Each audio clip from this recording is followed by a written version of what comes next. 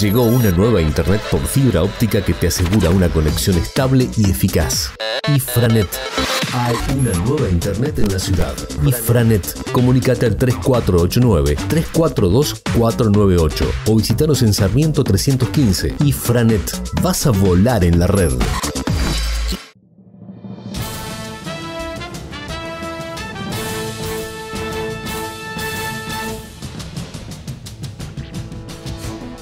Bienvenidos a un jueves cargado de información en el resumen de noticias de Campana TV. El presidente anunció más restricciones. El presidente Alberto Fernández anunció que a partir de las 0 horas del viernes se restringe la circulación nocturna en el área metropolitana, el AMBA, la cual integra nuestra ciudad. El objetivo es bajar los niveles de contagio en los focos más importantes del país. Romano pidió trabajar en conjunto por la salud de los campanenses. El líder del PJ Frente de Todos pidió redoblar los esfuerzos ante el avance de los contagios por la segunda ola de COVID-19 y trabajar en conjunto.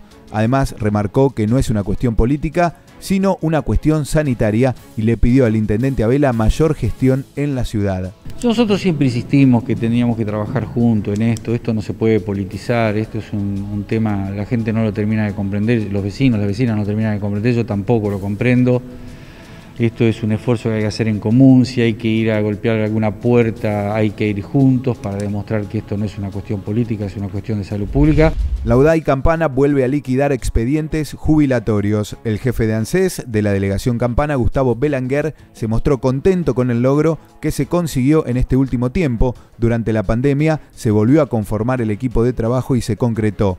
Además, participó el diputado Carlos Ortega, quien agregó que esto permitirá que el vecino pueda tener un seguimiento más cercano con su expediente. Es muy dinámico y muy complejo el, liquidar un expediente previsional, entonces tuvieron que volver a, de cero prácticamente a arrancar.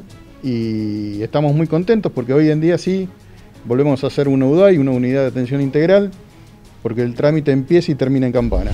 Catriel Sánchez arregló su continuidad en Uruguay. El delantero, luego de sufrir una agresión en un conocido boliche de nuestra ciudad, regresó a Córdoba para recuperarse.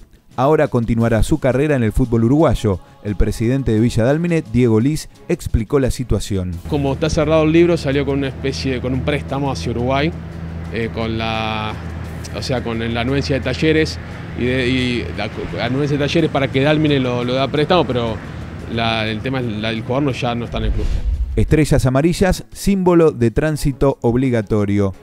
La concejal del PJ Frente de Todos, Romina Carrizo, se reunió con la presidenta de la ONG Madres Unidas de Campana, Fabiana Gómez, e integrantes de la institución. La edil celebró el reinicio de las reuniones y también la determinación de la Dirección Provincial de Política y Seguridad Vial por incorporar como símbolos de tránsito obligatorios a las estrellas amarillas. El símbolo de las estrellas amarillas fue incorporado dentro de las señales de, accidentes de tránsito y también eso implica que debe ser enseñado en los cursos y capacitaciones para adquirir la licencia de conducir. Es importante generar conciencia y estamos trabajando en campañas que se puedan hacer. Jueves Negro y otras dos muertes por coronavirus en la ciudad. La Secretaría de Salud emitió un nuevo parte oficial con los datos de COVID-19 en el que se conocieron dos nuevas víctimas a causa del coronavirus. Se trata de dos hombres de 67 y 69 años respectivamente, uno falleció en el Hospital San José y el otro en el Sanatorio Güemes. Además, en las últimas 24 horas hubo 30 casos nuevos y el total de casos activos es de 577. Los recuperados continúan siendo 7.122, ya que no se modificó la cifra. Campana crece. Padilla transporta. Más de 50 años liderando la logística y el transporte en la zona. Transportes Padilla.